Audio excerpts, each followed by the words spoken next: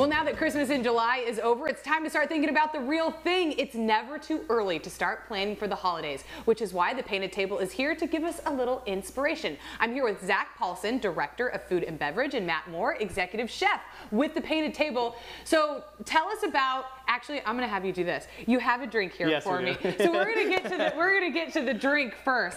What are we making before I ask you anything about why you're here? So for this cocktail, we're not going to be going into the holiday cocktail Just yet. Just yet. It's still summertime. Still summertime, still hot. At least it's going to be a little bit cool right now. The weatherman will tell you otherwise. Uh, but obviously, it's going to be hot, so you want something refreshing, Yes. lemonade, things of that nature. So we're going to make a very simple impressed lim- lavender lemonade. Okay. So we're going to be doing about two parts lemonade, just nice Did lemons, you make this yeah, lemonade? le- lemons, water, sugar. Uh, you just want it to be nice and refreshing. This isn't nice from the soda crisp. fountain. No. That looks delicious. already, it's just yeah. lemonade. Already looks good. And then we're gonna top this with a honey lavender syrup, Oh, so good. Okay. and just to get the nice botanical. How do you aromatics. balance the lavender and not make it like taste soapy?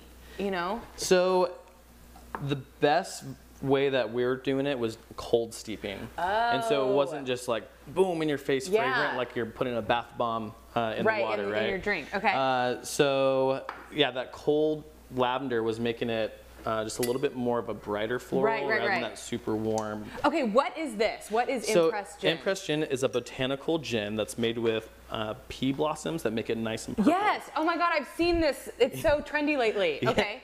Uh, So, so, this is gonna be beautiful. yeah, so we're just gonna top this on top. Oh my God, it's gorgeous. oh my goodness, that's beautiful. So the butterfly pea, is that what it what it Yeah, butterfly pea blossom. Right. Yes. Oh my gosh. Oh, it smells incredible.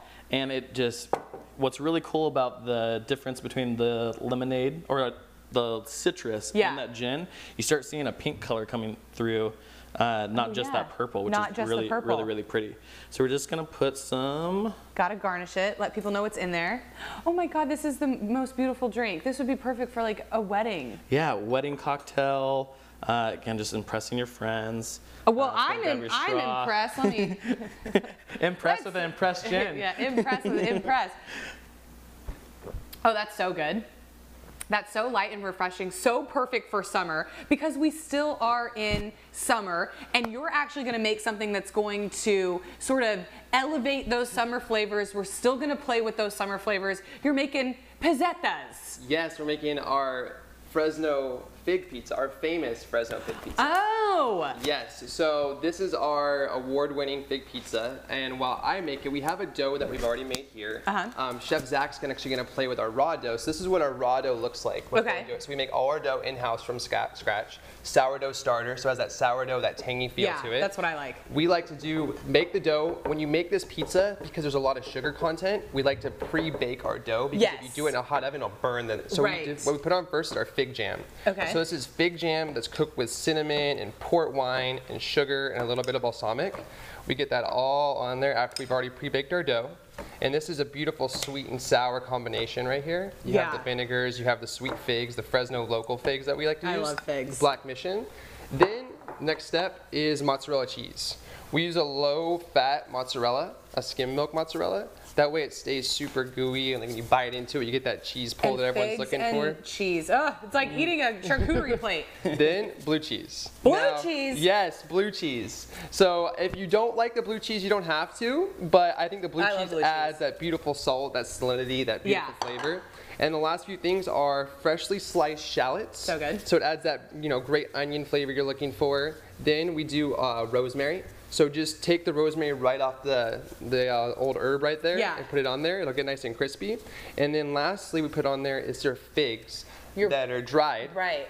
Um, this year we've had trouble with the fresh figs because of the rain, so we got beautiful dried figs. Oh. But we've now macerated them in port wine and balsamic vinegar. Oh, they look incredible. So they get that beautiful glaze feel to it. Ah, so this, after that, goes straight into the oven And luckily, I already have one in there. TV magic. TV magic. magic. So let me pop this one in and grab the next one out.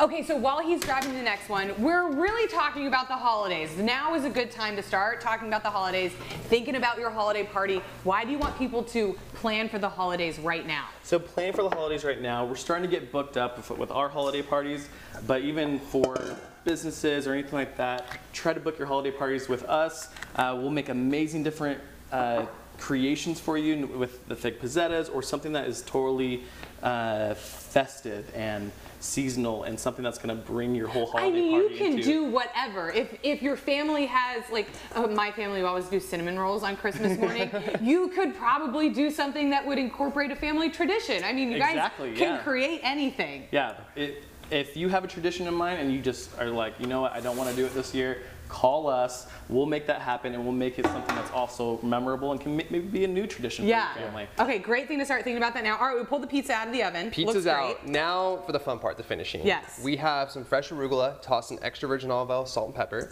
And I like to just kind of put it right over the top like this I in love the middle. arugula. Then the little fun parts, candy Yes. pecans. We need that crunch. We need that little bite to it. So the candy pecans go on, give it that bite. And then my favorite part is this. This is a fig balsamic reduction we make. Oh, so this, is like kinda- one of my favorite salads on a pizza. Yes. so that goes over the top as much or as little as you like. That looks great. We'll chop it up and maybe give it a quick taste test. Oh yeah, get, while he's cutting that up, another thing that takes months to plan, just like your holiday parties, Mm-hmm. are weddings. And this actually spread, this spread would be great for Oh, definitely. for a wedding. and as I've learned, we have two wedding seasons, once in the summer and then another in the fall. Right. So how can how can the painted table help with weddings? So we are full encompassed with event design, event coordination, catering, and bartending services that can curate and take over and control and help you with your wedding designs and your vision. Uh, everything encompassed for again both holiday or both uh, seasons for Yeah. spring and uh, for the fall.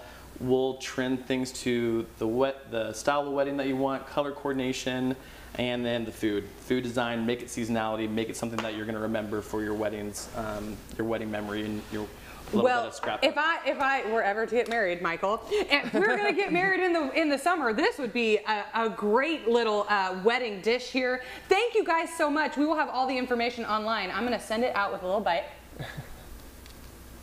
Oh, That- oh my God, that's so good. And It's That's so actually good. it's actually hot. that's incredible. We'll have all the information online. Zack and Matt, thank you so much for being here. Thank you for having us. Everybody else, stay right there. We'll be right back.